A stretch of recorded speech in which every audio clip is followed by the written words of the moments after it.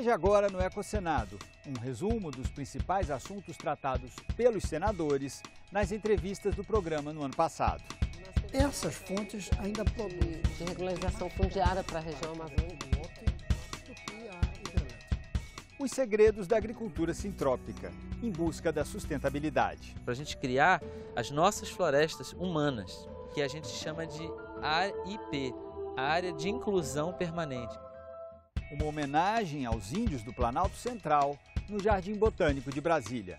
Na trilha, vários troncos pintados por artistas plásticos, durante uma oficina realizada com a consultoria da tribo Craô, espelham o imaginário desse povo. E o resgate do Lago Paranoá pelo movimento Ocupe o Lago. É a retrospectiva 2016 do programa Ecocenado, que começa agora.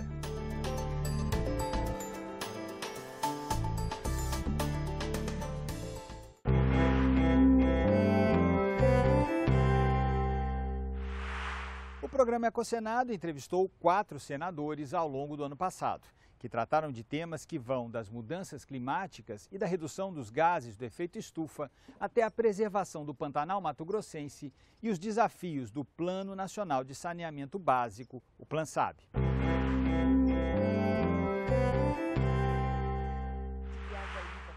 No início do ano, o senador Randolfo Rodrigues explicou por que não será possível cumprir o prazo estabelecido no Plan SAB para a universalização do saneamento básico no Brasil. O prazo estipulado é 2033. Ocorre que o Plan SAB é de 2010 2011. O que nós primeiro percebemos? Saneamento básico é um conjunto que consiste em destinação dos resíduos sólidos, destinação das águas pluviais, drenagem das águas pluviais, sanitário. Pois bem, principalmente os resíduos sólidos têm uma legislação específica, também de 2010. O conjunto do Plan SAB não foi adequado nem ao plano plurianual, nem à lei orçamentária anual. Resultado, o quadro que nós temos hoje, só em relação aos resíduos sólidos, se previa que no ano passado todas as prefeituras do país deveriam ter é, contemplado a destinação correta do seu lixo.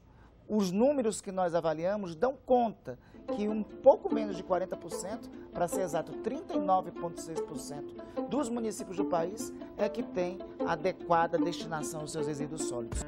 Randolfo Rodrigues apresentou uma proposta de emenda constitucional para que o saneamento passe a ser um direito fundamental no Brasil. Porque com política de saneamento básico se previne doença, e, com isso, diminui muito os custos da saúde pública, porque menos pessoas vão frequentar unidades de saúde e hospitais. O senador José Medeiros foi nosso entrevistado no mês de julho. Ele pediu mais cuidado com a preservação do Pantanal Mato Grossense. Olha, nós temos um dos maiores tesouros da terra, eu diria. O Pantanal Mato Grossense é de uma beleza extraordinária. Sim, a fauna, a fauna é uma coisa maravilhosa.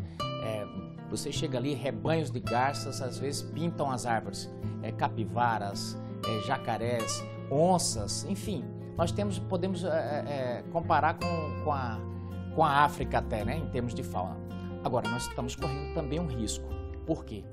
Dos quase 50 municípios da bacia do Pantanal, todos eles jogam esgoto, dejetos in natura dentro dos rios que compõem a bacia do Pantanal. Rio Paraguai, por exemplo, e São Lourenço e tantos outros. Então, a, o desafio do país é proteger esse santuário que está ali à mercê, é, virando praticamente uma fossa séptica aberta. As belezas da Chapada dos Guimarães também ganharam destaque. Parque Nacional da Chapada, a gente tem visto que ele tem sido, é, de certa forma, preservado. Existe aí algumas dificuldades ainda, mas a gente vê essa preocupação. É, e é salutar que assim seja, porque nós temos beleza aqui mesmo, como vocês puderam ver. Nós temos é, é, paredões, nós temos uma, uma biodiversidade muito, muito grande ali.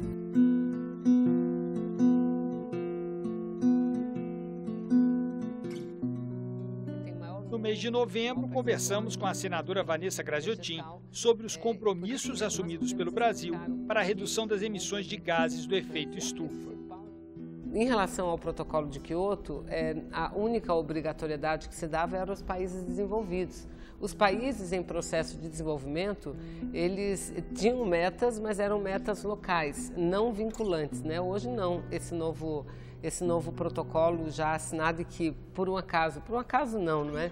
E que entra em vigor um ano depois de ter sido assinado. Não digo que é o acordo dos nossos sonhos, mas diante das dificuldades que tínhamos, é muito importante. Eu não tenho nenhuma dúvida que o Brasil, ele cumprirá até antes do prazo determinado as suas metas de diminuição das emissões.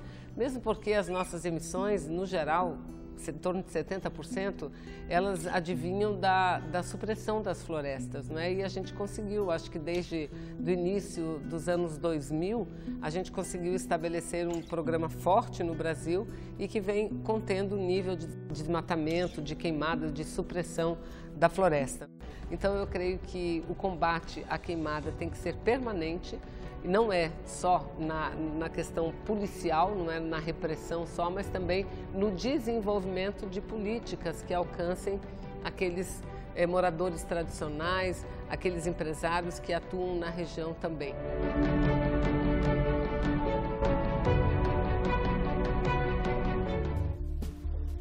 Em dezembro, o senador Cristóvão Buarque recebeu o Ecosenado em seu gabinete. Ele defendeu a aprovação de um projeto de sua autoria que prioriza as pesquisas com energias de fontes alternativas. As leis que protegem o meio ambiente não darão certo se não mudarmos a mentalidade, como nós nos relacionamos com a natureza. Só lei para proteger não basta.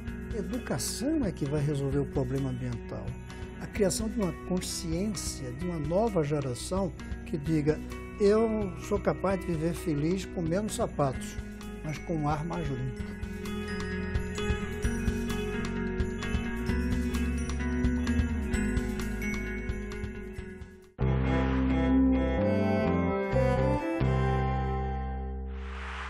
Onça pintada, peixe-pirá, arpia e grazina, espécies ameaçadas de extinção que ganharam destaque no Ecosenado em 2016. Eu sou Maria Bernadette Silva Barbosa, conhecida como Berna, monitora ambiental do Parque Nacional Marinho dos Abrolhos, 27 anos de parque. A gente está observando a grazina, que é uma espécie ameaçada, né? Uma, uma espécie bem diferente. Ela tem ninho em lugares escarpados. Aqui a gente está com um adulto e que a gente não sabe quem é macho e quem é fêmea, sabe que o vermelho é o adulto. Ela coloca dois ovos também ela é uma ave que mergulha de 3 a 4 metros de profundidade.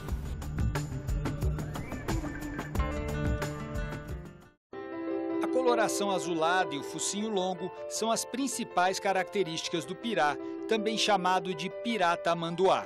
Adulto, o peixe pode alcançar um metro de comprimento e até 13 quilos de peso. A Codevasf vem realizando um trabalho importante pela preservação dessa espécie, que só ocorre na região do Rio São Francisco.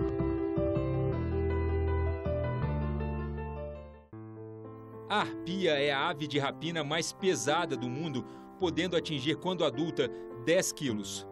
Abrindo as asas para voar, alcança a envergadura de 2,5 metros. e meio. Ela é natural de florestas tropicais que vão do México à Bolívia, sendo as matas brasileiras um dos habitats deste animal. Uma característica da arpia são as pernas curtas e grossas, com garras extremamente desenvolvidas.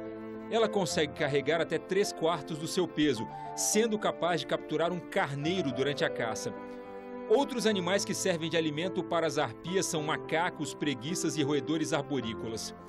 O assovio agudo e comprido desta ave é ouvido a quilômetros de distância, mas ela é dificilmente vista na natureza porque se abriga nas copas das árvores mais altas para poder visualizar melhor suas presas.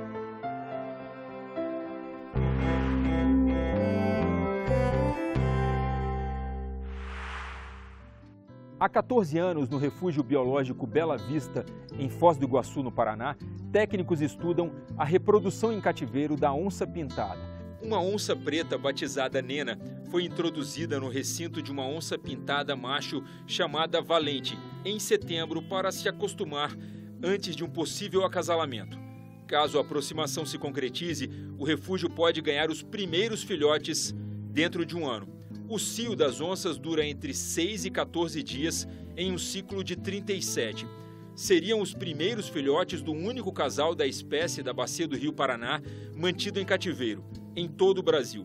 A maioria dos casais atualmente em cativeiro tem como origem a Amazônia.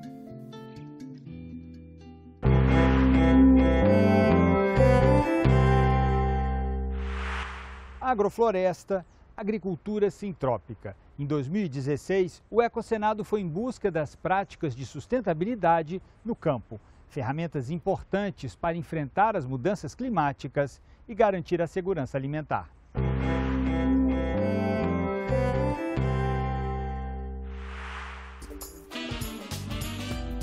Em fase de transição, este viveiro pretende aliar ganhos econômicos e sustentabilidade em um modelo inovador. Hernani, você trabalha aqui com 74 espécies, muitas delas do cerrado. No final das contas, quais são as vantagens que você tem aplicando o conceito da agrofloresta aqui no seu viveiro? Aqui nós estamos usando um conceito da agrofloresta que é você trabalhar com extratos aéreos, usar toda a parte aérea né, com plantas de diferentes portes. Com isso, a gente consegue adensar é, e aproveitar melhor porque, por exemplo, se eu tivesse que botar essa planta do lado dessa planta, eu teria que manter ela nessa distância de qualquer maneira é, e, e, ficaria vazio se eu tivesse com todas elas. Agora eu uso esse espaço para preencher com outras plantas. Nós percebemos nitidamente uma diminuição muito grande de doenças. Nós diminuímos pela metade o uso da água aqui nessa, nessa área. Então a gente gastava aqui 5 mil litros de água por dia nessa área que estamos aqui, quando essas plantas ficavam todas juntas, as mesmas espécies naquele modelo antigo, e agora nós estamos usando metade dessa água. Uma irrigação por dia pela manhã está resolvendo o problema. Nós temos economia de 50% da água.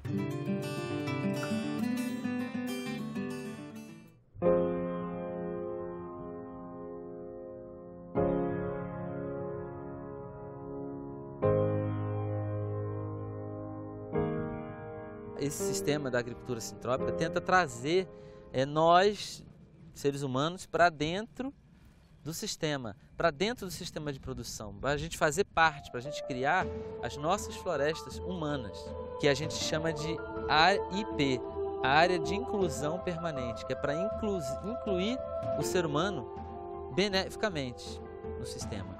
Né? E não criar só áreas de, de, de conserva. Esse plantio está com 40 dias tá certo? 40 dias. Essa, essa linha de frutas e madeira tem 40 dias. Eu já colhi o agrião que estava aqui nessa faixa, agrião da terra, já foi para a feira. Todas essas linhas aqui entre o alho tinha agrião, tá? já foi colhido. Aqui eu tenho agora o alho poró que vai vir daqui a 20 dias para colher. Eu já tenho a banana nascendo que foi plantada enterrada para não dar doença. Ela já nasce, já está com 40 dias aqui com força. Aqui eu já tenho a manga enxertada, mangubá, tá? Aqui tem o gengibre já vindo, alho de novo. Aqui eu já tenho gengibre de novo. Aqui tem um pé de café. Então você já vê aqui o baru do lado do alho, do lado da moringa e com o eucalipto. O eucalipto vai crescer primeiro, vai vir a moringa atrás, o baru vem na sombra. 3, 4 anos, eu tiro o eucalipto, uso a madeira, a moringa está em cima, já tirando folha, e o baru vem vindo na sombra. Daqui 10 anos eu já tirei a moringa, estou só com baruzão aqui.